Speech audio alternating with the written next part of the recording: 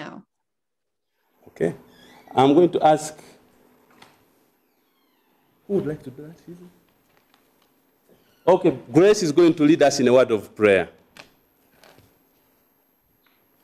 Let's humble ourselves. Father, Lord, we thank you for everything that you have done for us. May your name be glorified because if it wasn't because of your love, we wouldn't exist here, Father.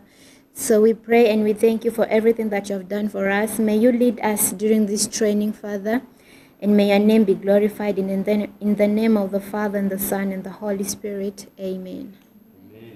Amen. Amina. Uh, well, good afternoon, Uganda. Uh, my name is Patty Huston-Holm, and I am coming in from uh, Canal, Winchester, Ohio, United States. And uh, I'm going to introduce our presenter today, our main presenter. Uh, first of all, I'd like for everyone else to mute your microphones, except for me and Larry. And a reminder that if you have questions, you can put them in the chat box and uh, we'll be addressing those uh, later. And you can also ask them uh, outside the chat box. So uh, as part of the Uganda Christian University and Uganda Partners e-learning lab, uh, we are having monthly presenters for students. And the purpose of these presentations is to take the textbook learning you have and uh, apply it into the real world. So today, our main presenter is a commercial photographer. I realize many of you uh, will not end up being full-time photographers, uh, but you will apply this skill set probably in just about any career that you have in journalism and communications.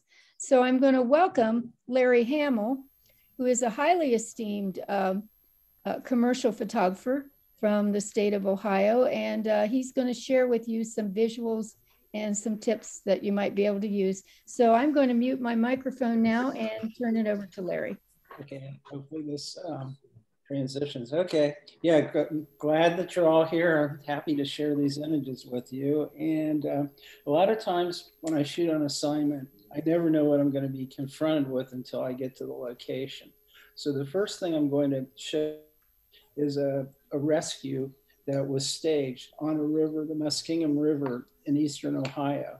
And I, I didn't know until I got to the site that be 10 emergency vehicles there, two helicopters, and about 50 people that on the spur of the moment I had to direct and stage this accident. So they had a ski jet and a boat in the river as they collide. And I, I told them, I thought, well, it have be a better image if somehow we could slide a jet ski up on the boat so it looked like it, which actually happens sometimes. So what we'll see here is a scene that I set up the boat and the ski jet. And I had their other vehicle spin around as fast as it could in the background to create the impact. A little bit more, more dynamic.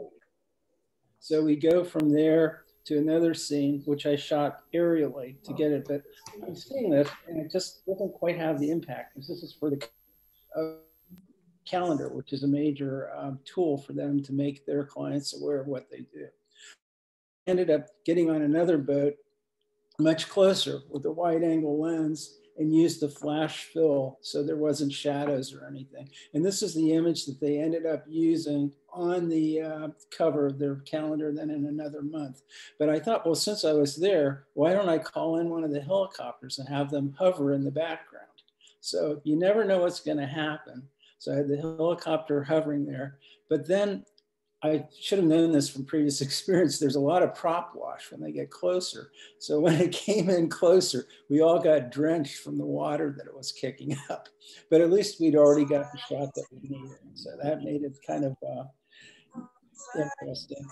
So we go from there to this is the finishing up, but you can see some of the, hel- the two helicopters in the background, a couple of vehicles, but it is like a lot of pressure when you get there and you don't know exactly what you're going to be dealing with. But it all worked out fine in this situation. Here's another situation where I'd never been to this location before. It was in the wintertime for Lucent Technologies, and they wanted to do a group shot of all team. So I'm confronted with this room, which is totally dark, but I wanted to show you how I set it up with portable strobe lights. These are Dynalite strobe lights. And you see to the left how dark it is in there. And if I hadn't used these lights, we would never see the uh, interior properly. So what I did was I had the people get together there and use those lights cropped in and did this group portrait from this angle here, and then went a lower angle so they'd have another option to see. But you know, like I said, these people would everybody be in shadow if I hadn't put these four strobes and lit the scene. Then we go from there to an annual report I shot. This is for a large research corporation, and, was, and this is a, a, an employee and his wife help um, disadvantaged kids, and they their home, but they did not have any furnishing in this home. So which, I, which they told me ahead of time. And I thought, oh, that's going to be a problem. So I went out and bought this kind of collapsible sphere. I bought them some interesting uh, toys to play with in the foreground. So by not having anything in the back, I created this this concept where they can be playing with these, still have it work. So when you have nothing to deal with, anticipate and see what kind of shot you can get. And sometimes you just never know what you're going to end up with. This is inside a research lab. And this is a really unusual um, situation where they electrify these plants. And somehow, by doing so, they can distribute different types of nutrients or insect deterrents underneath the leaves so they wouldn't get washed off. But then again, I'm in this lab and I knew I had to bring a backdrop. So I brought a blue backdrop and I didn't know it was going to be lit by ultraviolet lights. So what I did, did a time exposure and you can see the stream of image of the liquid coming in and then here is the residue underneath the leaves. So it was a very effective system, but I'm not sure how they utilized it in the real world. But um, we go from there to another device they made, which is a spraying of a mesh that would help with a wound on site. So it helps seal the skin. And we needed, you can see it being distributed there, but I had the um, scientist hold this, this circular device so you can see how it bonds with the skin and the device. So this is a case where I use ring flash, which is a light unit that goes on the front of the camera a lot of times. It's so you can do macro shots. But what I did was disengage it and held it off to the left side and illuminated it with that. So you never know when that comes in handy. This is for another publication where these women created this product. But when I first got to their place, they all they had was a bunch of boxes in their basement. So I thought, okay, well, let's rearrange these, bring the products out. And then uh, again, I used strobe lights to light the basement. But it wouldn't have worked if I hadn't put a strobe behind them with a slight bluish gel to complement the pink hues that they had with their product if I didn't have that light in the background, I don't think it'd be as a successful shot. But that all worked out for the publication. This is uh, for a, bank that wanted to paint your financial future. That was their concept. So I get there again and rented a studio space where a friend had a uh, glass brick wall. And these were models of pose. So I put strobe lights with soft boxes behind the wall. Click that after the models had left, I cleared the table, put a canvas down, and had the paintbrush on the table using the same light source. So it'd be convincing. And then in Photoshop, I blended the two images. And then they also had text and things, but they're making a future by using their services. This is for the, our Columbus Public Libraries. And uh, this is for their annual report. So this is one of the rare times I use shots that aren't my own. These are from NASA, different planets and things. So what I did was had these kids pose. And I think the, the critical element to making this successful was if you see the book there, I hid a portable strobe that's battery powered in the book. So it illuminated, because otherwise you would get light sources and shadows and things. So this eliminated the shadows and more of the feeling of all these things coming from the book. So, and I did that the rest in Photoshop where I pasted it together and added the streams that are flowing out of the book. But that was used on the cover of their annual report. And then another client wanted to be in the future and looking different things a unique way. So what I did was I photographed one of the people in the organization there, cut the figure out, and then placed them in a 3D program that I use. And I rendered the program there, and they wanted to show it both that way and then a horizontal panoramic view. So I also used the same figure. You can see he's reflected, and he's looking at this more in a panoramic way. So this is like applying painterly techniques with different software to convey an idea that the client wants to share. There to a college in Northeastern Ohio. Actually, David Bowie's son went to this college. It's called Wooster College. Situation where I had the camera on the tripod and I did two exposures. The first exposure was a second and a half for the computer monitor because I had turned off all the lights. And the second exposure was a quick pop with the strobe side to define the professor and the student in the shot. So that I just had the camera on the tripod, kept the shutter open, then popped the strobe. Because if I did it with conventional lighting, it wouldn't have the dynamic um, three-dimensional quality that it has this way. It'd be a flatter image and not quite as interesting.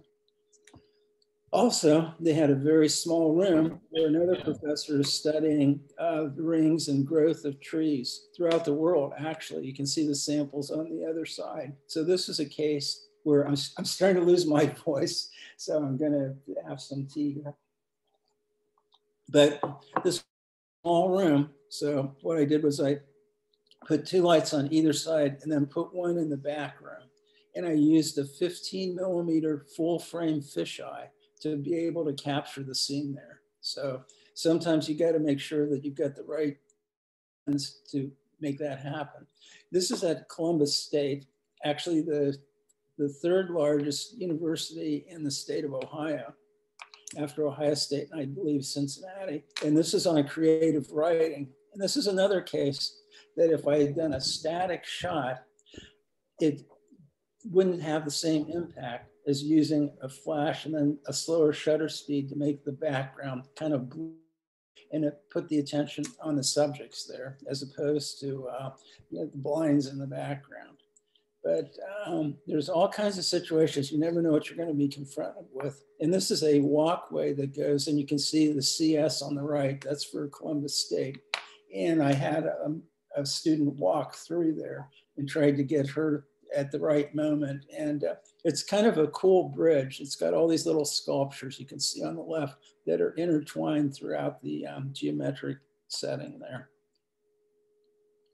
And then this is a pipeline analysis um, at the site uh, west of Columbus. And this is getting there during the day and just lighting it a little bit, but anticipating shooting at dusk. So in this situation, I wanted to make sure I got a few shots in case the weather changed or anything like that. So this is a woman testing the different viability of this pipe system. And um, what happened was as it got later, I used what's called a graduated filter that had a magenta cast to it. And I used that on the in part neutral density. And I used that on the sky because if I didn't, the sky would be bright white and overpower everything. so this added a bit of color and also muted the sky. And in a way, I have to think in terms of how a client might want to use type. Like they might have a headline in that open space. So I didn't want that distracting or anything.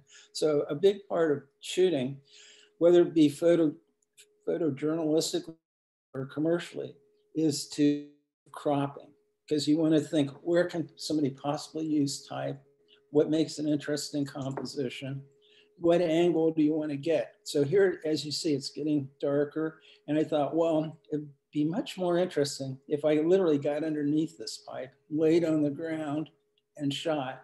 And this is the one they ended up using. But you can see I had a couple strobes in the background where I had a magenta gel on that. too to make it more interesting.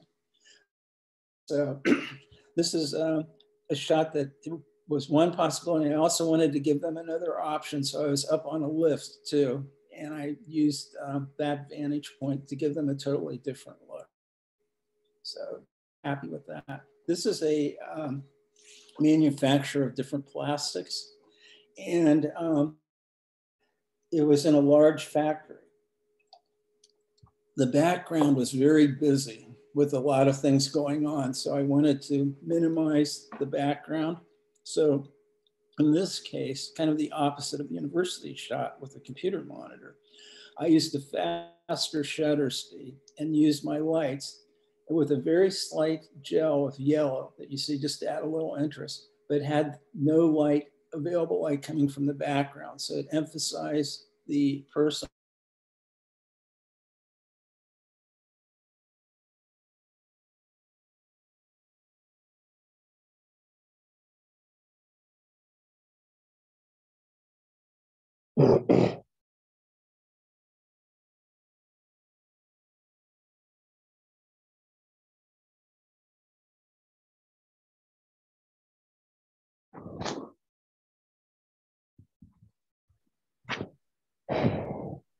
Is, is Larry frozen for everybody else or just for me?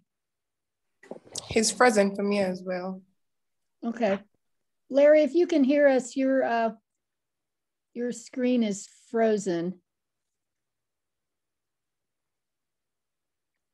And I think we may have lost him.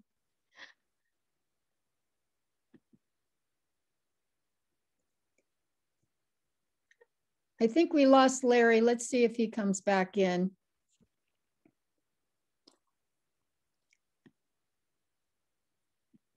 In the meantime, I want to mention to all of you, um, if you can hear me, do a thumbs up, or no, you don't want to do a thumbs up in Uganda. Uh, raise your hand if you can hear me. Okay, thank you. Um, so Larry's talking about a lot of uh, technical things. And um, to the background. So, oh, great. You are back, Larry. We, we lost you Oh, for a while. Can you put your shared screen back up? uh, I'm not sure how I, am I? We lost you for about uh, three minutes. And then now you just, you're back. Okay, can you see the image now? No. No. Have to do, you maybe have to stop shared screen and then go back into shared screen again. Oh, okay. Oh, that's too bad. So actually just left, huh? What was the last image you saw, the pipeline or the? Yeah, it was the pipeline. Okay. Um, gosh, I'm trying to, so I go click onto Zoom. Okay. And then I go share screen Yeah, and then go back to here. I hit share. Okay, so is that it? Yep. And You you want to put it on, you want to put it on full shared screen instead of, um, let's see. Go to your PowerPoint and make it full screen. Oh, okay. Um, I'm not seeing, it probably is at the bottom, I believe. Did- Can you see Yeah, it now? There you go. Yep, it's good. Oh, okay. So we go, let's see, I'll go back to the. Okay. So And I don't know how you can get, can you get rid of that little thing that says this keynote presentation may look different? Can you click on the button on that? Let's see. Um, I'll have to escape again. Oh, that? Yeah, Oh, sorry. yeah, got it. Then you Okay. got to go back to full screen. Yeah, Okay. So you guys didn't see this image then? we did see that one. Yep. Okay, okay, okay. Now we go from there to the color. So it must have been just a glitch. This one? We did not see that one.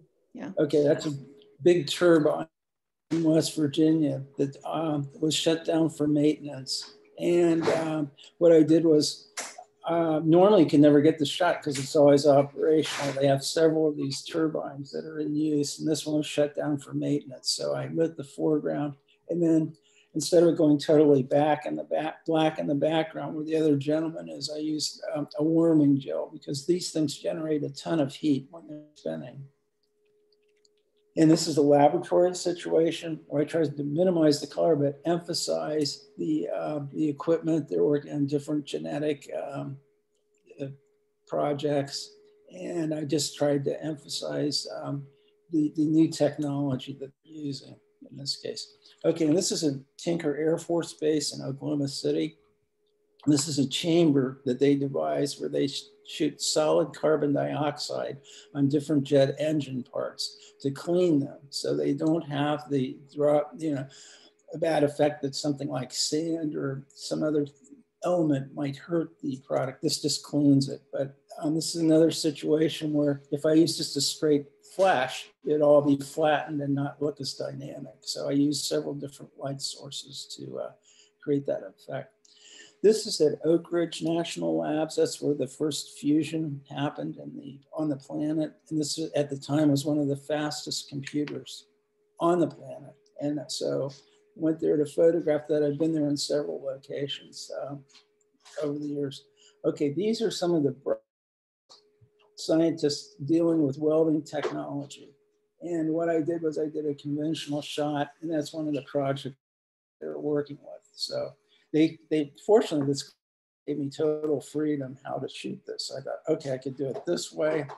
I could also do a frame where they're in the center of one of the, the, the elements they work with. And then I put a different spark in the background. But also I thought, well, what the heck? Why not, hey, you guys, do you mind just sitting on the chairs like this? And well, trust me, I'm going to integrate you with one of the one of your projects. So I had previously had a shot that they provided me of the structures and how they analyze. And the main thing is analyzing to know when a weld will fail. So that's really as critical as uh, anything to do with that. So what I did was I took this shot and added them to their graphic that I'd previously seen. And that's the shot that they ended up using. And the, another part of their team, the head guy, used to work with this firm that was a mile away from the research firm he's at now. So I went to the location and photographed this welding device and kept the shutter open to get the sparks and marked where I had the lights because he was not on good terms with the people there. So I had to set up the same lighting scenario in a basement, light him the same way, and then strip him in with this welding unit that was a mile away. So sometimes you have to deal with politics in a way too. Now, I don't know if anybody knows what this is by looking at it. It's kind of um, hard to tell, but it's actually at the time a high-tech solar panel. And this is at the National Renewable Energy Lab in Golden, Colorado. And these are different technologies that they were working on there. Um, this is a special kind of solar panel. And this is one way that you can see the environment that it's in. This is shot with a relatively normal lens, a little bit wide. And I thought, well, another way to make this more, in, to make it interesting would be to use a long lens and play with depth of field. So this shows more of the units, but it also shows the attention to detail that the scientists are putting in. Here's another unit where one of the scientists is reflected in the glass panels that are used for solar energy and then into this unit on the right there. So, and this is uh, just prototypes that they're working on. Another thing that they're working on were wind turbines. So you see the turbine over there with the little fencing above it. I'm on a similar turbine standing in the fencing with the clients on the left and the scientists on the right. So to give this a sense of scale, what I did was I did a cars parked there. And what we did is they have a tiny little elevator inside there where one person at a time goes up to the top, but they analyze the different blades and things like that. So we go from there to the Fire Academy on the east side of Columbus. This is part of Columbus State's training. So if somebody wants to be a firefighter, you do that. So I'm wearing the same gear that they're wearing when I'm doing this shot. Naturally, it was scheduled on a day when it was 95 degrees and very humid. And the humidity was really high. So put that with the fire, it was pretty intense. It really made me appreciate what firefighters have to go through. So we're there, and by the time I spent 45 minutes shooting this. My, my boots were literally filled with a couple inches of sweat. It was just so intense. But so we're here, and then afterwards, I get a photo of one of the students uh, leaving the environment that they were in, and then they take off their, their hat, and she's relieved to have left that. And then this is a group afterwards. You can see the, the gentleman in the background wasn't having that much fun there, but they were glad that they had that experience on this very hot day. So this is at Ohio State in the agricultural school. And this is a scientist working with different cattle there. This is up near the university airport. And I used the flash to fill in because it was an overcast day and it wasn't quite as interesting without the flash. You can see a plane in the background uh, leaving the airport above the woman's head there. But, uh, oh, and this is a historic farm, not too far from where Patty was, called Slate Run Historic Farm. And I like going there, but you never know what day is going to happen. And it's not really scheduled, but the, the, this is a farm and it operates the way it did in the 1890s. And I was just fortunate to be there this day when they're literally plowing the fields. So it was kind of uh, a shot for the fun of it. Now, this one was more of a challenge. This is both a client and a friend, and his grandparents owned this store in Southern Ohio. And this is a picture that he had. He said, Well, you use Photoshop all the time, and which I do. I, I was fortunate to have a beta copy 31 years ago, just a, a CD disc, and put it in my computer and it was called Barney Scan Pro. It wasn't even called Photoshop. So I learned from that point on. But what I did was it was retouch it and it looks totally different. So it was a, it was a challenge to do this, but it was an interesting challenge. So you can see the before and the after. Photoshop's a pretty powerful tool. It's a good thing to know for photojournalism. This is at Warner Robins Air Force Base in Georgia. This is a giant Starlifter aircraft. So you can see the scale. This is like five stories up, the, the top of the tail fin there. And this research company called Battelle, they're actually the largest nonprofit research company in the world. They developed the Xerox machine. That's what really got them off. If you look at the universal pricing code on products, they're instrumental in that. They're instrumental in creating the CD, the compact disc. They're also instrumental in creating a spray that helps protect the aircraft. So you see how high it is. But the only time we could access the plane inside the hangar, since they're working 24 hours a day, was at three in the morning. They had an opening. So we had to go up and rig all the lights. I had an assistant with me and what I did was I rigged the lights. You can see how high up it is, and then backlit the spray to make it pop. Because if I didn't backlight it, you probably wouldn't see the spray. But this gives it a sense of scale. And this was what they used on the cover to show off it. And this is again using composition and leaving space above so they could run type across there to say what they're doing and also leaving on the bottom right some space for copy too. So that was a little tricky assignment. Then later the next day we went there and they're working on fighter jets. And again, I tried to use a minimal use of gels, but to convey the idea that there's a lot of heat generated in these units. So I just used a little bit of yellow in there while these gentlemen were working on the engines. Okay, then we go from there to one where um, it's a shot of Versailles. This is just for the fun of it. I photographed the humming bird in Nevada, and then I stripped that in with a mirrored shot I did at Versailles in France. And this is like a little transition. So this is kind of a fun thing in Columbus, Ohio. There's a large insurance agency that had a like a large area next to where their main building was. And the, the only problem was there was a big house sitting there and they wanted to create a park. So a friend of mine said, well, I'll buy the house. How much do you want for it? Oh, a dollar, because they wanted to get rid of it but it cost her a fortune to have it moved. So this is Central Ohio the, called High Street. And this they're moving this house down the street.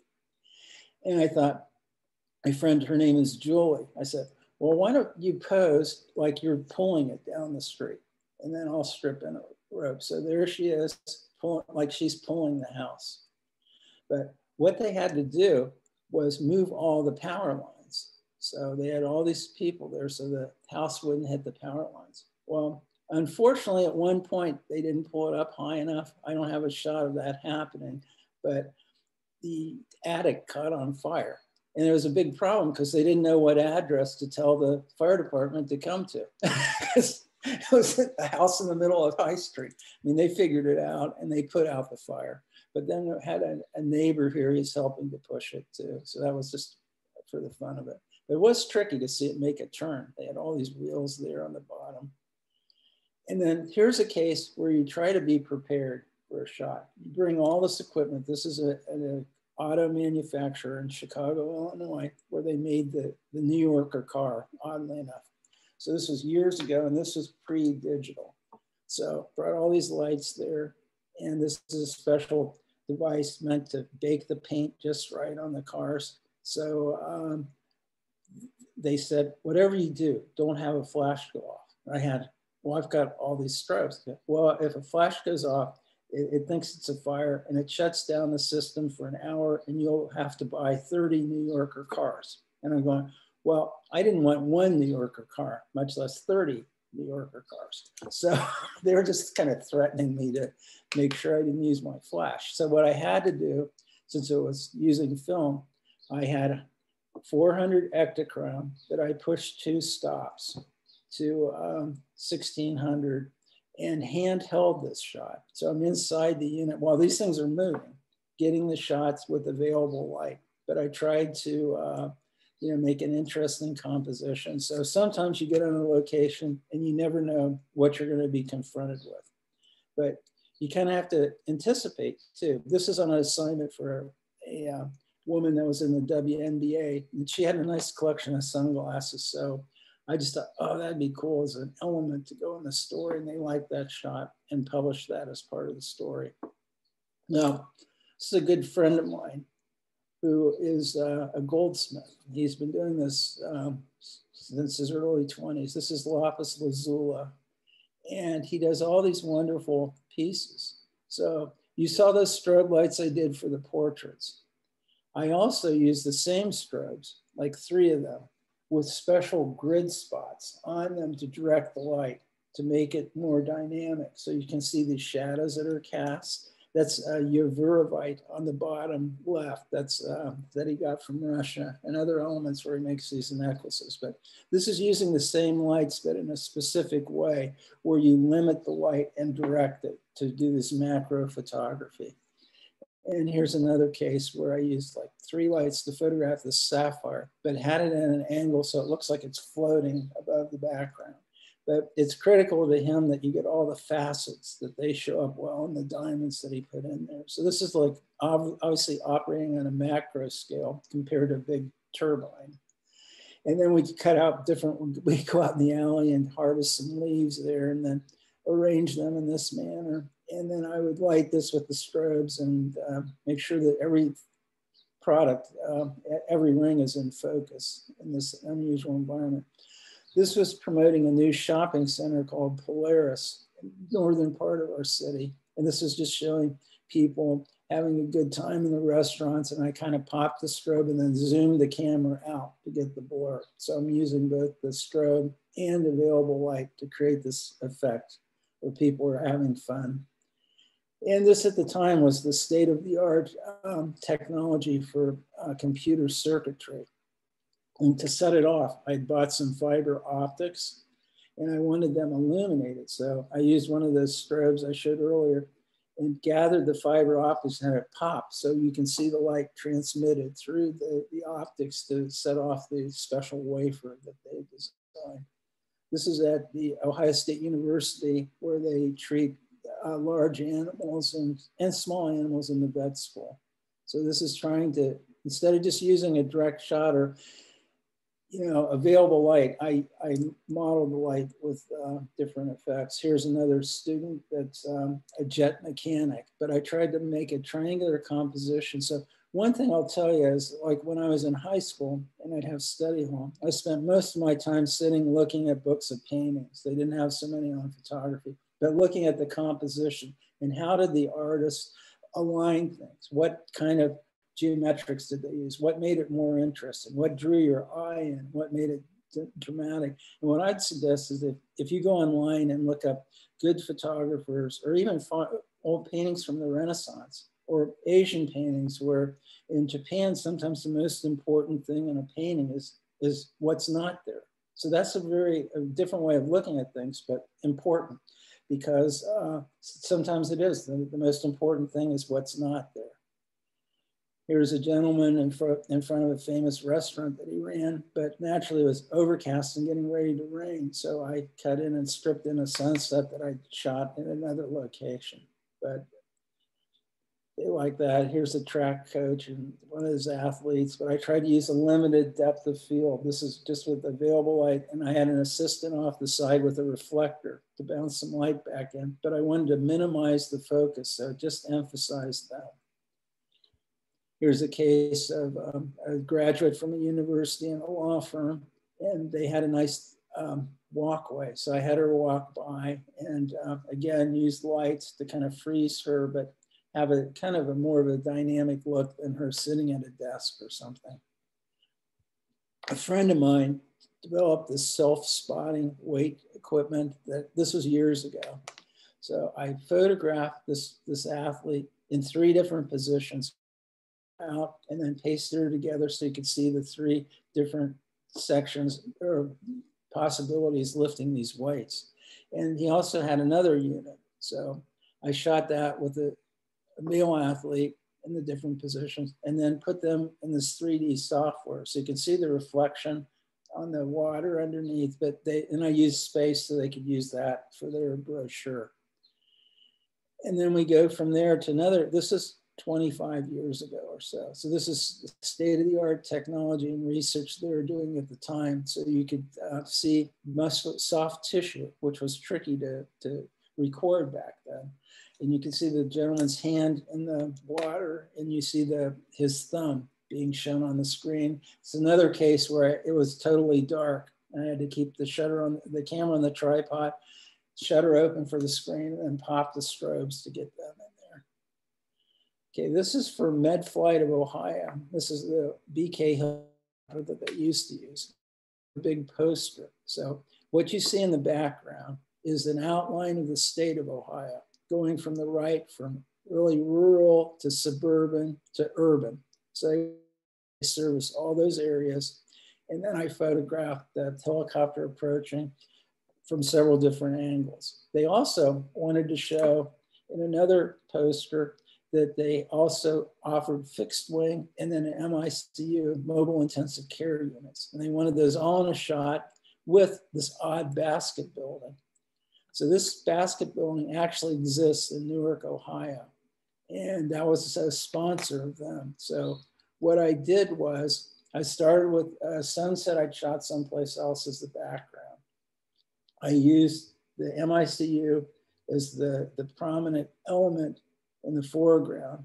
Then I posted the uh, helicopter and I flopped it because obviously if it was reflected, that would read backwards and wouldn't have the impact.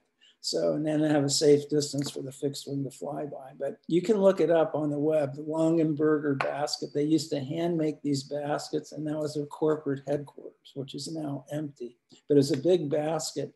And since we have winters here that can get really cold, ice could form on those handles up there and crash through the big glass atrium uh, ceiling that they had. So they had to heat the handles and the glass ice would form on this.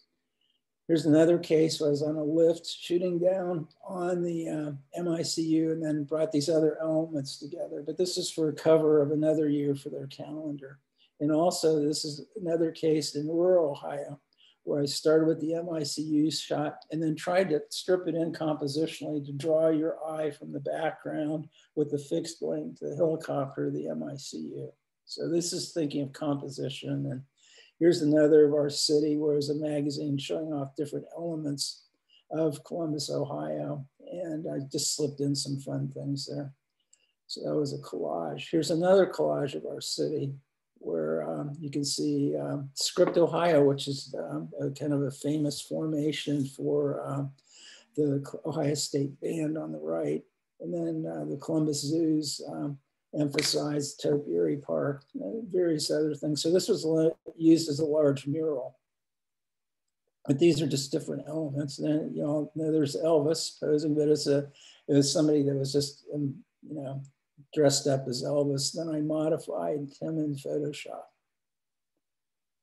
That's my friend Arnett Howard, who's a great local musician. And I was just playing around with some different filters. And Arnett's great. He's played so many times in Columbus, but I was just trying different techniques with software to show how I could look in a different way. We go from there to promoting Oktoberfest, a uh, weekend festival. And this is like ancient software that I used on an old computer. But the thing is, I kept the old computer. So if I want to use this technique or other old filters, I can do that. So I created the normal photo, created a layer above it in Photoshop, applied this filter after testing it numerous times, and used a mask so you can see the eyes look normal. So about the only normal part is the eyes that you see there, the figures. And then we go from there. This is another old software. That's why I saved the computer. It's like an etching, but it's actually a case of cherry tomatoes. And this is another situation where I use the 50 macro lens and my ring flash off to the left to illuminate that. And that's a great tool to do macros. Like I said, sometimes in the laboratory, I needed it. Here I was shooting for the front of it. And that's what I, what I do is shoot a lot of times when I'm not shooting commercially, just for the, the joy of photography and seeing new things.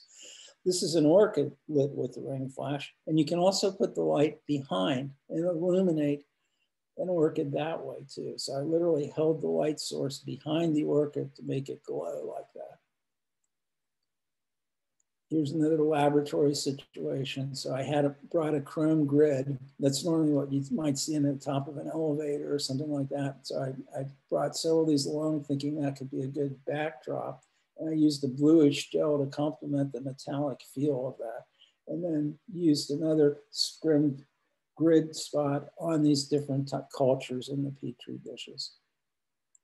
Oh, and this is an odd thing. I went to actually a Photoshop seminar in Miami Beach, Florida, and it was right near their art museum. This is by a Texas artist. I don't remember his name, but this is just walking from the hotel to the conference. I'd go by the sculpture and it's so incredible.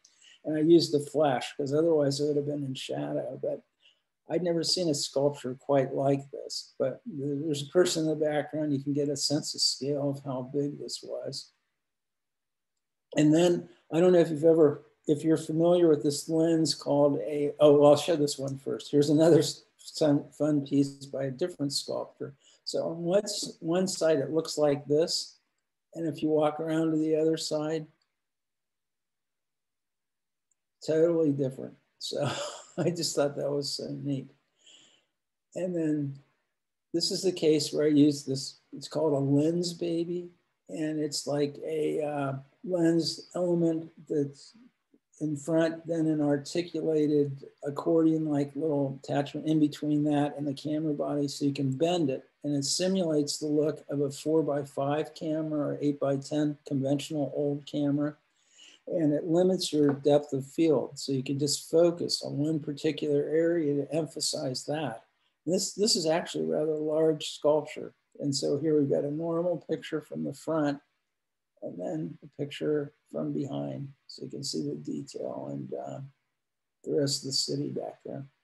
And then a lot of times I've done, especially with film cameras and things, um, it's like painting with light where you've got a light source, it could be almost anything, and you keep the shutter open and move the camera and zoom and um, you get these different effects. And for years, I probably sold back in the days of stock photography before there was digital stock. So it was actually more precious and more valuable. Probably seven different book covers using this technique for electronics and chemistry, just because it made it look dynamic and you could use type over that. And um, some were posters too. So there's just, it was like literally painting with light. And here's um, a scene from North Beach, a time exposure of cars going by. And then I did a collage of some of the elements that are there.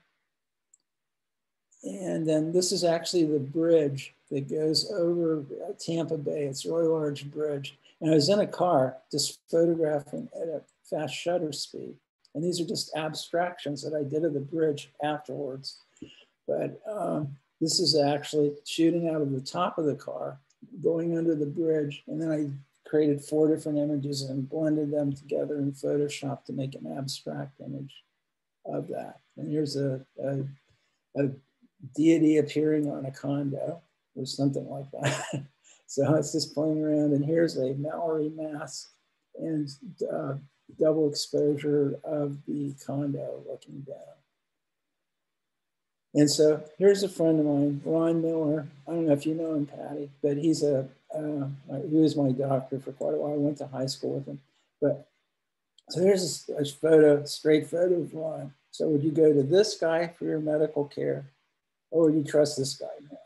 I mean, here, eh, that's Ron from high school. so, but then if you light him in the right way, uh, you, you, know, you see the professionalism, the intent in his eyes, the subtle nuance of the color in the background. That was just a plain white wall that I used two different gels and uh, created that color.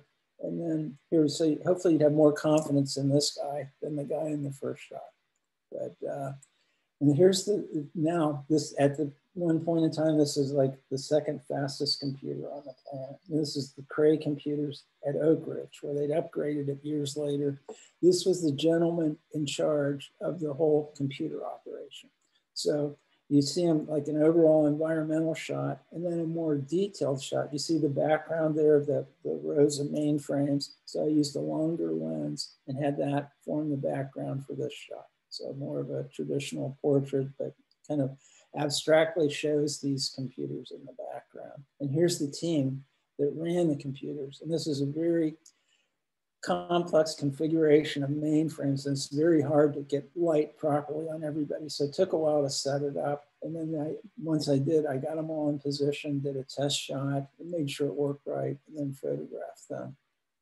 And then here's another one where it shows the extent. I mean, there's row after row of these computers. And what they did was they project. At the time, it was like one of the largest projections the, in the country of data from a computer. And this is one of the things they're working on. They, they also would show like the fusion on the sun, how they thought it would work. And, and I and knowing that they had a screen there, I thought, well, I'd bring one of my shots around that I showed you previously. And they projected that on the screen. But it is a little tricky because if you were to use a conventional flash, the screen would look white. You know, you'd wash out what's there. So again, I used lights with scrimmed off. So I just illuminated the scientists there and kept the background viable. So this is the Pacific Northwest Labs, one of the scientists there. They're working on crazy experiments. So here's the guy on the left there and he's one of the scientists and he's just goofing around but you can tell by his id card yeah that's that's the way he looked so but no i, I just messed with that for the fun of it so uh, okay and these are the last series so i'm not sure how familiar you are with the uh, state of michigan in the united states but there's an upper peninsula and a lower peninsula this is the mackinac bridge that connects those two and this is on a photo assignment for a bank so this is the day before I got a record of this bridge. And here it is. It's one of the taller bridges, longer bridges in the country. And you notice how high this, the, the bridge is. There's a case where they have a little elevator that's like a phone booth size, and something that, you know, you know, these days you may not have ever seen a phone booth, but it's very small. And I was in the, and what was happening was there's a video crew filming the the commercial of a man painting the bridge. And while they're doing that, I had downtime. So I said, well, can I go up to the top of the bridge and photograph uh, the helicopter doing that? And so I go up in this little elevator where there's a Native American that was about 6'3", 240 pounds, and another gentleman that was wide and big. And the three of us were going in this elevator. We could barely fit in it. Get up to the, you know, totally claustrophobic. Then we get up to the top and it's complete agoraphobia. Like, oh my God, we're really up here. And then I felt my heart go up to my throat. And I thought, the only thing that helps me is having the camera between me and the scene that I was there. But here I am on the top, and you can see the, the, the the person painting the bridge down there, and that's a special helicopter with a camera mounted on that sphere, and it kept it steady. And you can see off in the distance how the bridge went. And uh, here's a, another shot of them doing the video of the gentleman painting the bridge. And then I'm up in the helicopter here taking shots. And you can see the top part where there's railing. That's where I was taking the other shots from. But you can see the wet paint there too. And so I'm up there. This is a shot that they used for the ad about perseverance, or you know, you start something, you want to continue it. And the gentleman on the left there was had this wet paint there, and he didn't have his harness hooked up to the, the guide rails. And I'm having this scream because he's quite a ways away. But you gotta put that on because we can't use the shot without it. It's like unsafe. You go, oh, okay. And he clamps on. But it's hard to see in that shot, but in closer ones, it, it would be a you definitely want to have that um, protection when you're up there. And towards the end, so this is the, the, Ohio State football stadium. And this was before 9 11 when aircraft could fly closer to the stadium. But I took this shot from another helicopter, just like this one, but with the door open. So I'm hanging out the door, photographing this scene. But then I came back later on the computer and then used that same shot, but added the crowd to the, so it looked like, uh, but it's, it's not selling a product or something, selling a service. And so it was okay to add the crowd and tie in the, the university. And, and here we are, Columbus, Ohio, typical view of our hometown. And uh, so, no, uh, this is, this is the last shot I have to show, but for 31 years, ever since um, Photoshop came out, I've been doing a calendar of Columbus. The first year it came out, I didn't really know what I was doing. I said, would you guys want to print this calendar that shows Columbus in a different place? So for 31 years, I've been doing that. And underneath is the, the dates and everything. So this is, um, I, oh, uh, let's see, about 12 years ago. And what it is, is a photo I took in the Andes in the background and then a photo of Columbus, Ohio in the midground. And then I went to, I was in Bali, and that's a temple in the uh, Indonesia there in, in the foreground. So I blended those elements together. And then if you were to have the calendar, you could see, actually you can see Medflight to the left hovering above the plants there. But I've got all these things hidden in there, different faces and things. So uh, there's a lot of cats and other things, but it's very hard to see from that but so yeah that's the last image so um, if you have any questions or i'm not sure i'm doing time wise either so let me know Thank you so much, Larry. We decided we'd let you just keep going over because we were so fascinated. Oh, okay. Great. So we were chatting in the chat box. Oh, okay. but so um, I think I've got everybody except you and I muted. I'm going to unmute some people. Um, what kinds of questions do you all have?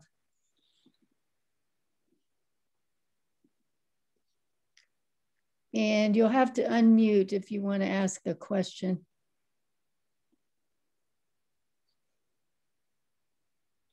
I'm going to put some water in this cup so I can get my voice back. I'll be right back. Okay, Larry.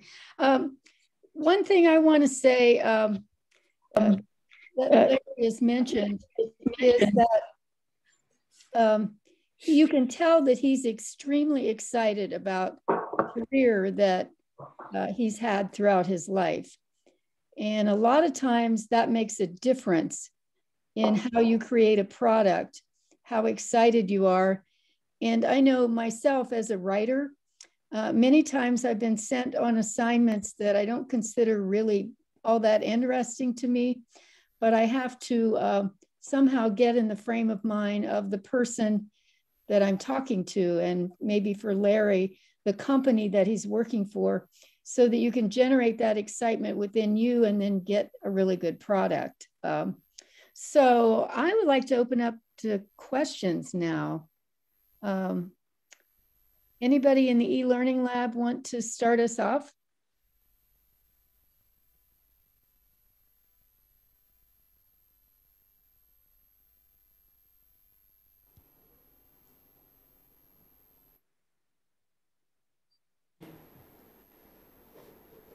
Hi, can you hear us?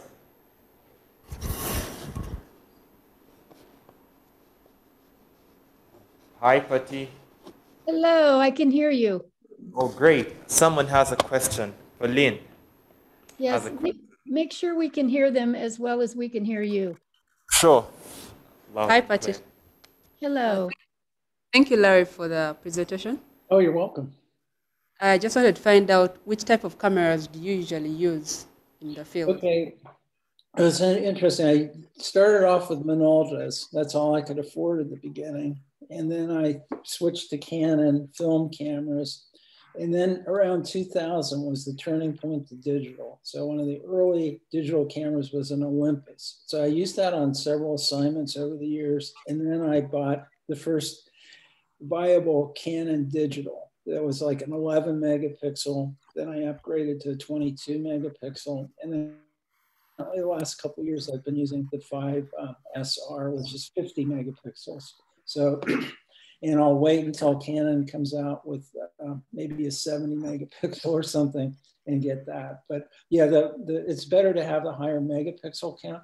But then again, you know, these days you can shoot with cell phones and get incredible results. So, but I, I would have to say that um, I've been really happy with the, the Canons and they've worked really well. I usually always carry a backup in case there's a problem. So the older generation, I carry that with me. And I had an older Rebel that I converted to infrared. So auto shoot is infrared. And I just do that for the fun of it on nature shots and things like that. So that's that's what I've been using. Um, Larry, could you stop the shared screen on your part so when you talk, we can see you larger? Oh, okay. Yeah, just do stop shared screen. Yeah, I'm not sure where my mouse went. Let's see. Escape. Up there to stop share. screen. Okay. How's Yep, that? Is that that's good. That's great. Thank you. Sure. So, okay. Yeah. Any any other questions or?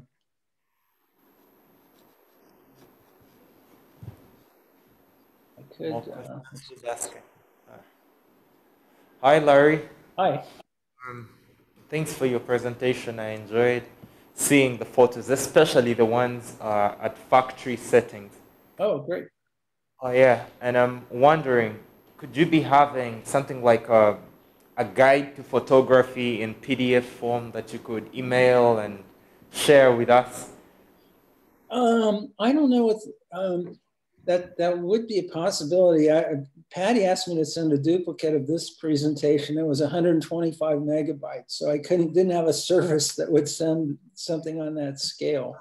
Um, I don't know. Um, what what I one thing I do if you want to see different imagery is I'm on Facebook at just Larry Hamill, and every day for 12 years I've been putting up a different image that I've taken whether it's that day or a painting that I've done or a drawing, and they each follow each other. So I think I've got over 5,000 images that I've posted. So I, I, show different techniques and things like that on Facebook. But um, as far as, yeah, uh, yeah, I, I, don't have anything set up, just these, these presentations. I'll be happy. I've got another presentation like this one I could show sometime in the future that's all completely different imagery and shows more paintings and things. So if you guys would like to see more in the future, I'd be happy to share that. Sure, we'll be glad. And um, secondly, I'm quite interested and uh, intrigued by the way you use your ring flash. And I'm wondering, would you, do you think it's, you can use a ring flash when doing macro photography, do you recommend that?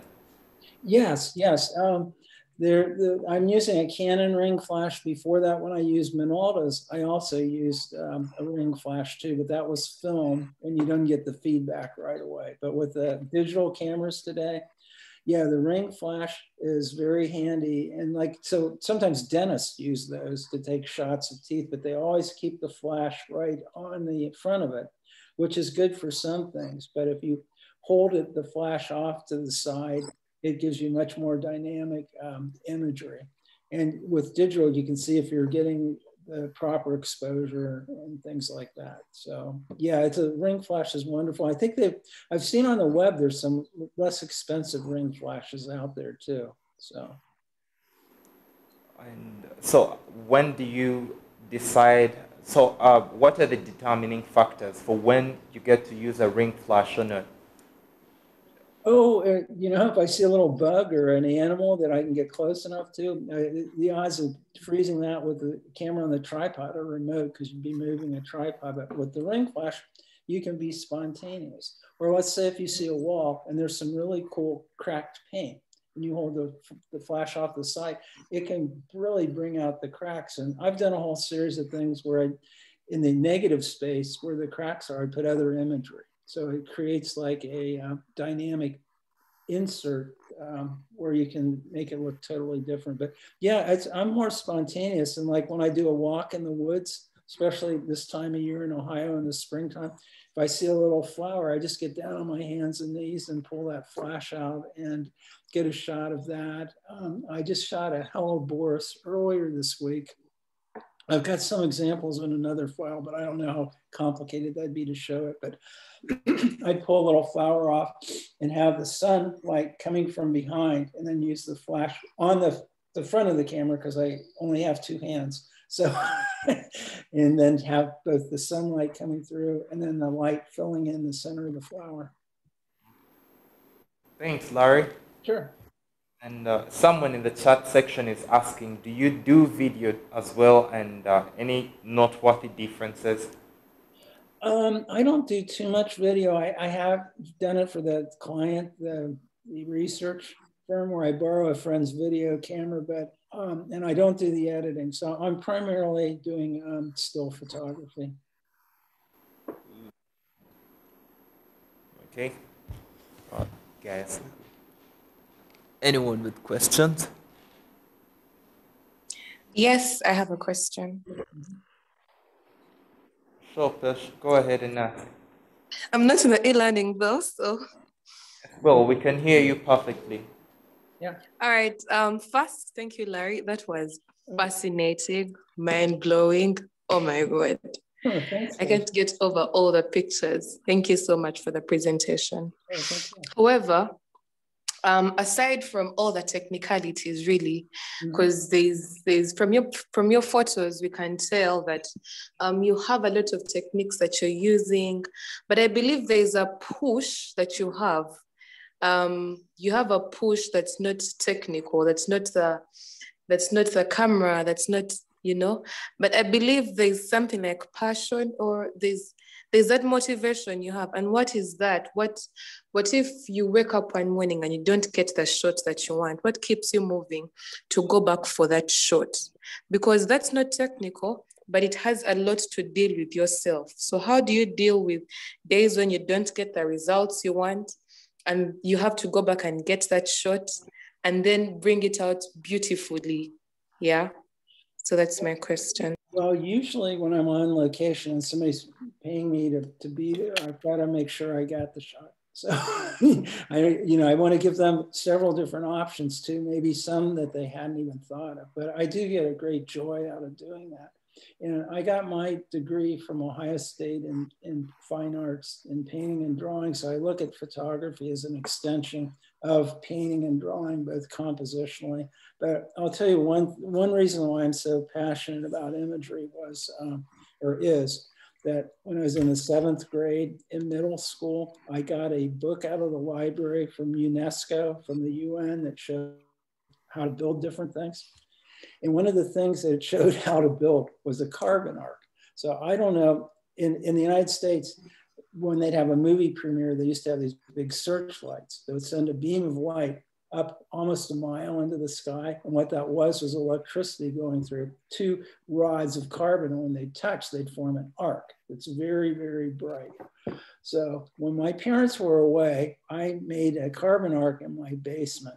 And I had what I thought was protective glasses on because there's my grandfather's. I thought they're welding glasses. So I'm in there with a wooden handle on a screwdriver, melting the screwdriver in this giant arc. I my, my basement must have looked really weird to the neighbors with the lights glowing and everything.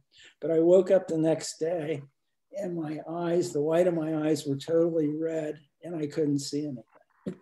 And I thought, oh man, I knew from the second grade I wanted to be an artist paint. So I, vision was such an important part of my life. So my mother freaked out naturally and took me to the eye doctor, and then they bandaged me all up and gave me medication for a week. And I just thought, I'm never going to see again. That's the thing I'm so passionate about. And they said, well, what you did was you burned your your um, covering your of your eyes, and um, that's what created the blindness. So from that day on, once my vision cleared and it was true, I could see, that made me go to the study hall and look through all these pictures. Every day I'd be looking through different painters and artists and try to think, oh, what's a cool way to share? And that's probably one reason why presented the thing every day for 12 years or 13 years on Facebook. It's just to share a vision and it's not monetary. It's just like, oh, I was excited about seeing this little bug today. Or a couple days ago, I was on a trail and I saw two American eagles in a nest. And that was a real treat. And I hadn't planned on seeing that. Or my cat rolled over in an odd position. I posted that. I mean, it's just, but there's all kinds of wonders around us. So it's just a matter of looking at things and, and being excited and having the privilege of seeing things. So uh, yeah, I just, from that experience, that has guided me a lot and it makes me want to see a lot of new things. So I'm passionately trying to look at different things, go on different walks, go to different places and, and see things. So that's probably the reason why I'm doing it. but I have fun doing it. And I want to have, like I said, with clients, see things that they hadn't seen, you know, have them see it in a fresh way. And you can do that with your cell phones and everything. Go, gee, what if I got this reflection coming off of this? Or here's the water dripping and I get close, or somebody's reflection is showing up in the droplet. Or, I mean, just think of exciting ways that you can view things or or put the camera like underneath it. I've done that before with plants that are here where I cannot see what I'm getting with my camera, but I'll put the fisheye under large uh, plants and put the self timer on. And then I come back and see the picture. Go, oh, that's cool. It looks like these plants are 40 feet high and they're actually, you know, uh, 20 inches high. So there's all kinds of ways to experiment every day and just, just for the fun of it. So yeah. any other questions or? Oh yeah, Larry, one more question. And uh, this is to Larry, the commercial photographer, not the photographer. Okay. Um, I wish to know how do you price your photos? How do you uh, value your photos? For example, if a client steps up to you and they tell you, hey, Larry, I want a photo shoot, uh, how do you set your prices? I'll give you a, a Ugandan, uh, an example from a Ugandan context uh, most of uh, most photographers this side are determine their prices based on how long the client wants to stay in the photo studio. And uh, the average rate is usually 300,000 that's about uh, $90 if I'm not mistaken for an hour. Mm -hmm. then if you want to stay longer the money uh, keeps rising. So how about you? How do you price your photos? Well kind of buy the job. And also time is a consideration too. So depending on what's involved or if there's post-production too whereas somebody had a sign in front of one building and they got a brand new building and they want you to cut that out and paste that. So it all depends on the job. So it used to be a source of income with stock photography too but that's all changed with the uh, advent of free stock and things like that. But yeah, you generally in the back of your mind, you're thinking an hourly rate.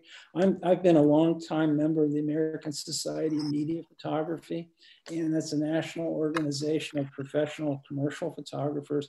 And they, you might want to go to that site. It's called ASMP, and they have guidelines on pricing and usage.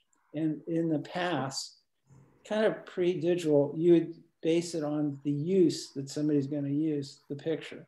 So if you're taking a, a picture of, let's say, a bag of dog food and it might be in a, a bowl in the foreground, if it's going to be used in the local newspaper, its value isn't as great as if it's going to be a national publication. So that used to be another determining factor as to how the photo that you're taking is going to be used. What's the value of that? Is it going to be just used personally for somebody?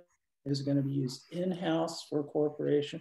Or is it going to be used nationally? So in a way, you have to judge the value of what you're shooting by the usage. But I would say that those guidebooks that ASMP has and things that they have online are a really valuable asset to look as to pricing and knowing, like you said, in your con in the context in Uganda, there, there's probably different ranges of usage.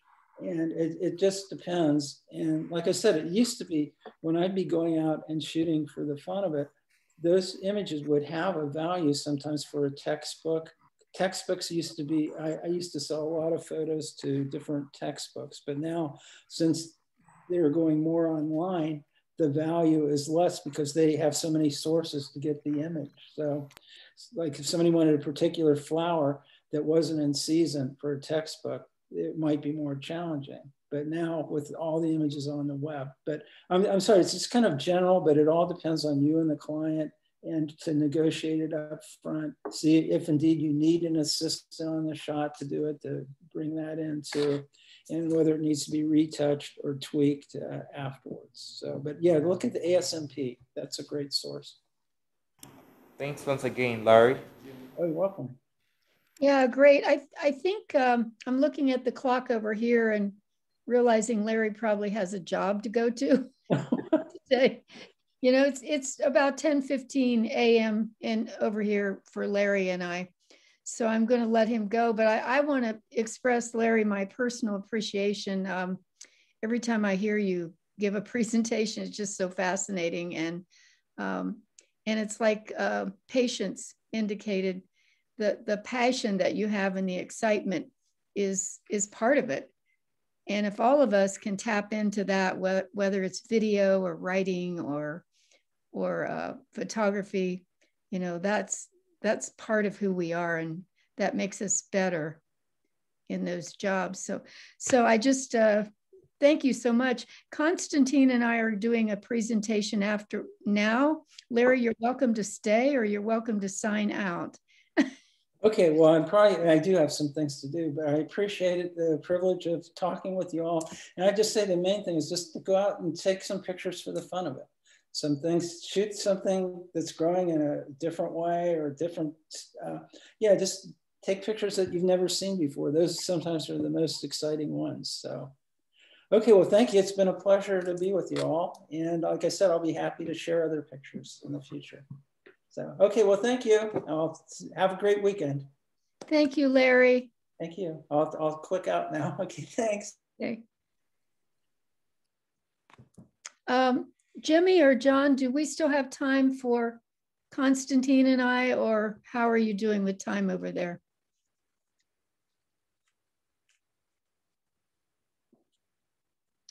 The e-learning lab is muted.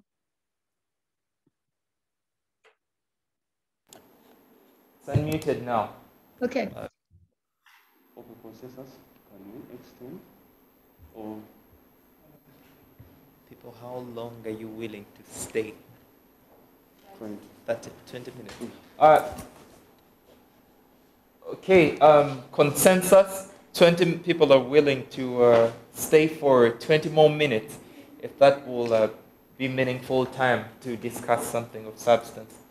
Yeah, I think we can do that. So John had asked uh, Constantine and I to do uh, just a little recap of editing, what happens when you give us a story and what is our what is our thinking when we make changes? So I'm going to pull up a PowerPoint and Constantine's going to start us out. Uh,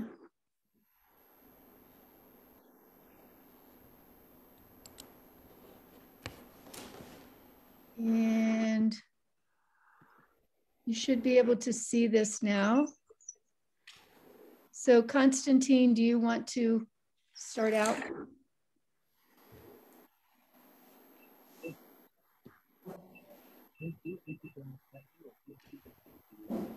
I don't think we're hearing him. Are, are you hearing Constantine over there in the e-lab? Nope. Okay.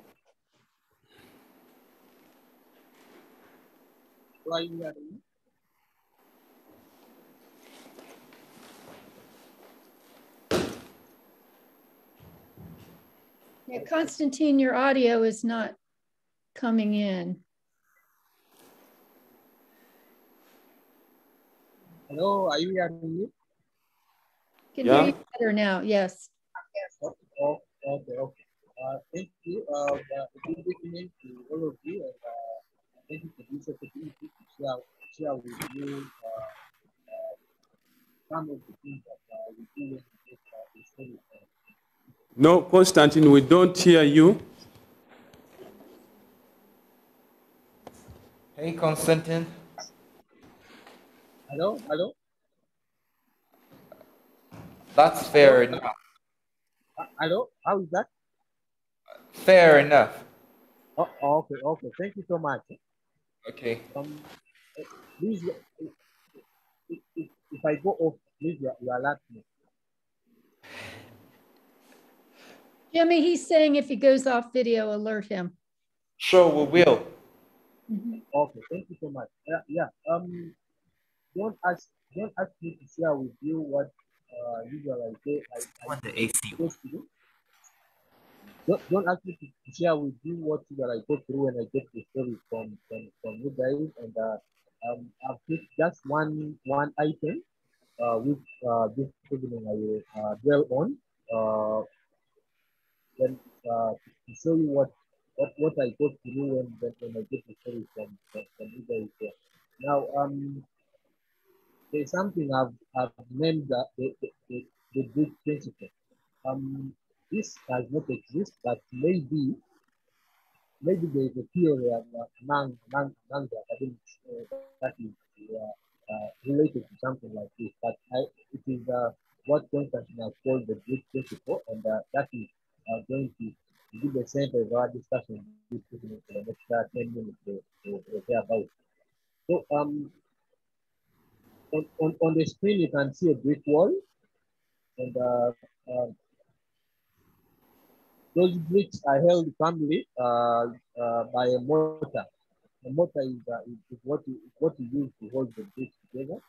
So uh, each of those bricks is having a purpose uh, of holding the neighboring bricks together.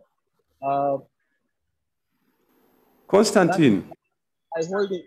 Hello? Constantine, the voice doesn't. John. Yes, the voice doesn't come out very well. It is as if uh, you are in a tin. And I don't know, but we think that it's coming from your side. Yeah, I think it's an audio on his side. What we, what we could do in the interest of time is I could scroll down to my slides and then while he's finding a, a better place for audio, uh, we could come back to his. Let me see here. Okay. Um, Constantine, I'm going to mute yours and just go through mine and then we'll go back to yours. Uh, you know, once you uh, find a better audio place. So the one thing I want to mention to all of you is remember when you write your stories that you have to think that the person who's reading it is not going to know everything you know. So every time you write, even though it seems repetitious, you have to remind people that the Ugandan COVID restrictions went into effect in March of 2020. I do this with my dissertation students too, because we get into this frame of mind that everybody already knows that. But when you're thinking about readers, you have to think about the very basic reader who does not know. So in the United States right now, we have a, a court case going on with a black man who was, uh, who died uh, under the hands of a white policeman.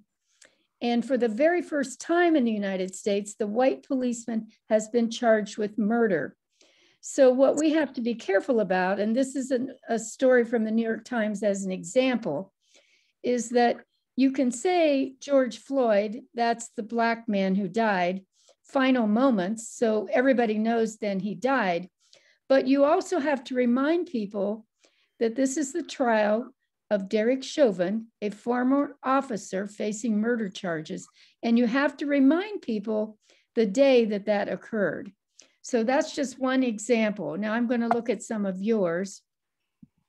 Um, all right, why is it? there we go. Okay, so fact checking. Uh, this is a story that ran this week with U Uganda Partners. Uh, be very careful. Before, uh, when the story was written, we talked about this uh, person at UCU having the most, being the most cited scholar at UCU. Unless you have done extensive research to determine that this person has published more publications than anyone else at UCU, you cannot say that. So you can say he's among the most cited scholars, but you can't say he's the most cited scholar unless you've checked with every single person who graduated from UCU, who's currently there, and calculated all the publications they did. So be very careful. That's just one example of fact checking.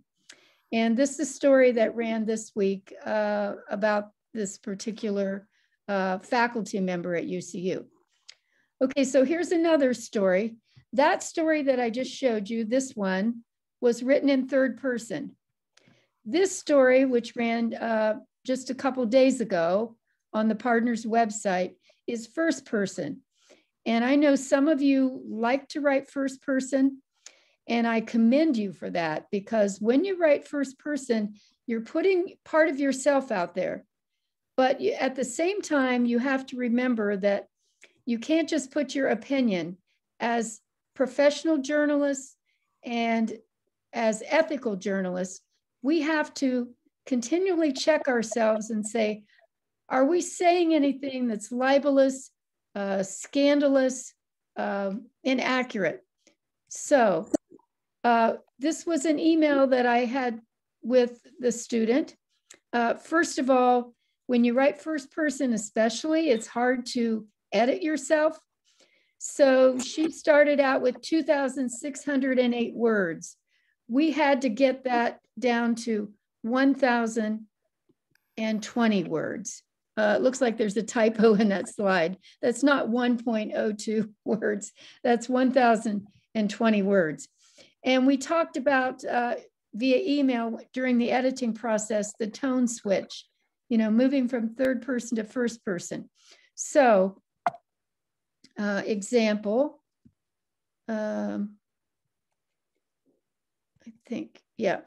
Okay, so if you are writing first person and you're talking about another person, sometimes you don't want to mention that person's name because it could be uh, it could be defamation. It could be an untrue statement that damages a reputation. So what we did is we took the person and we said, this is when I met someone I will call Alex. Now, for true journalists, sometimes you say, uh, maybe I should be honest and just put the name out there. But keep in mind that, that as ethical journalists, we have to remember that we're giving our opinion and we don't want to damage someone's reputation.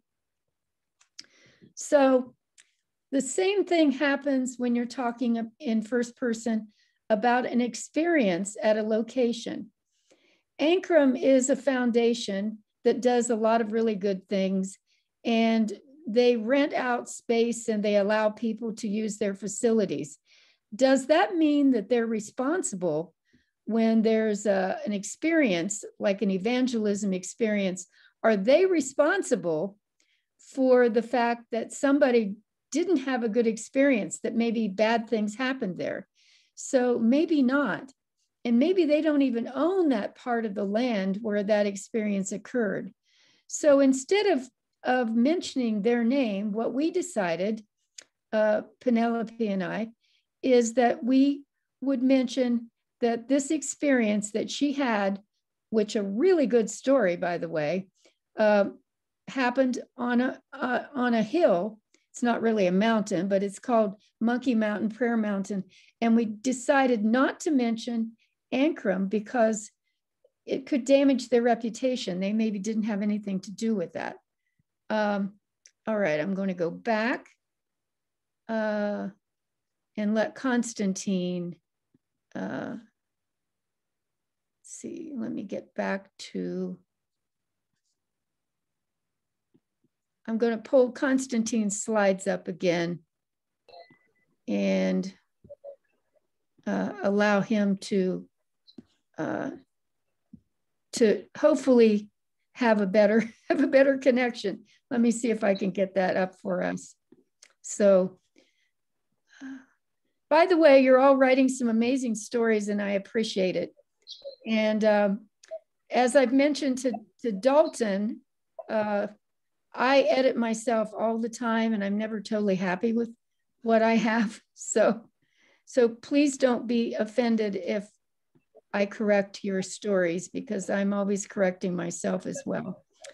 So Constantine, are you available now? Is this better?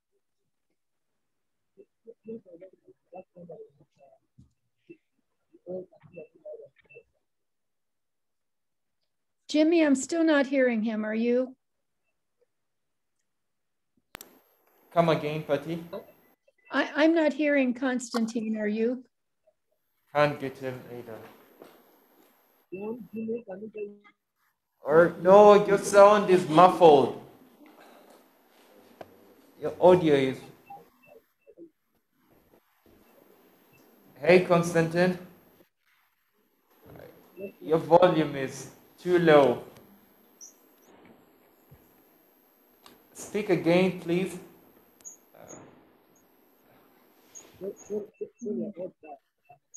Oh, God.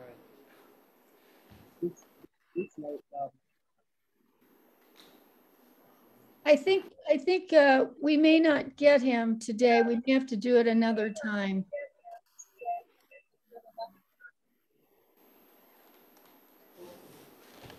Network is terrible.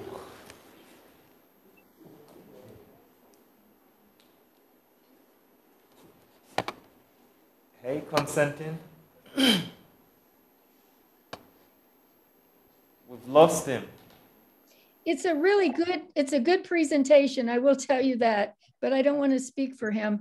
But I, I do want to say that uh, to all of you writers, Constantine is the frontline editor and then he sends to me. And generally they're very clean. Uh, so I'm hoping that you're looking at the changes he's making and learning from that experience. Um, Jimmy, um, in the interest of time, I'm wondering if we want to conclude. Yeah. So what do you think? Okay. If we can't.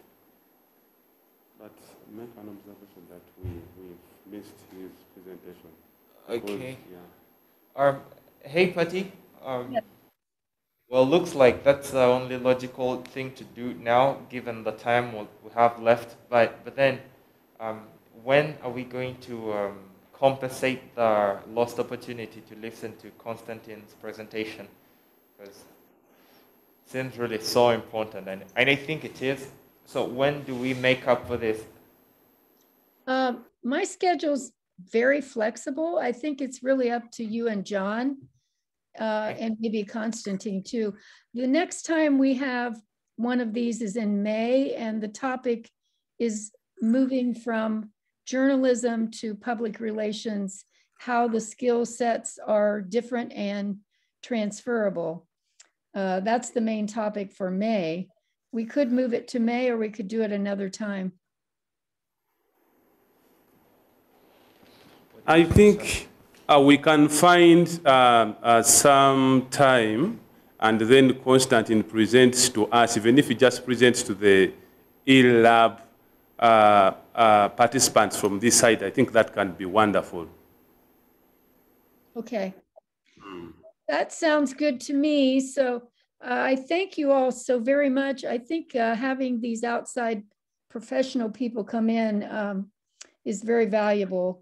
I, I always feel that you learn uh, so much from people that are actually applying what you're learning uh, in, from the textbooks.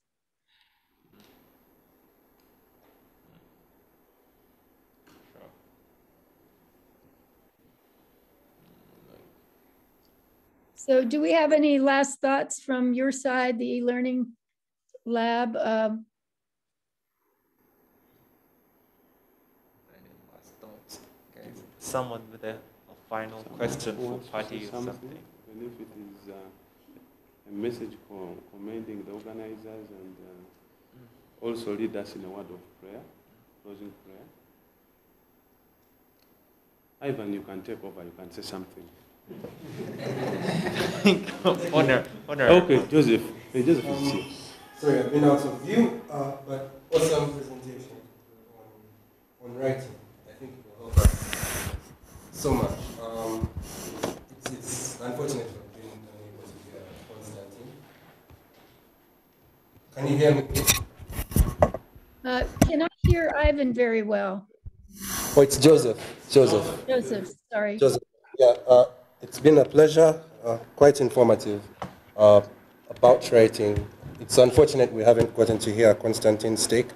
Uh, I've been able to see what he does with stories. Uh, I think what we stand to learn is the brevity of, of, his, uh, of his communication, because what we, we managed to say in so many words, he narrows down to even fewer.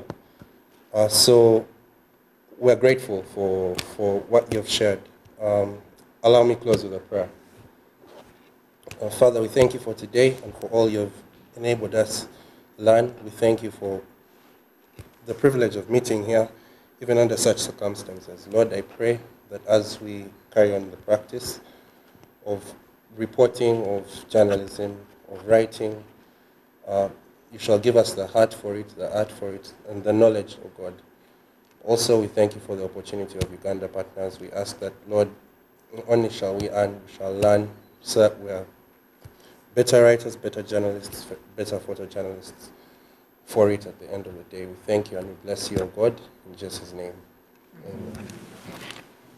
Man, thank you. Thank you. It's good to see you all. Be safe. Stay safe.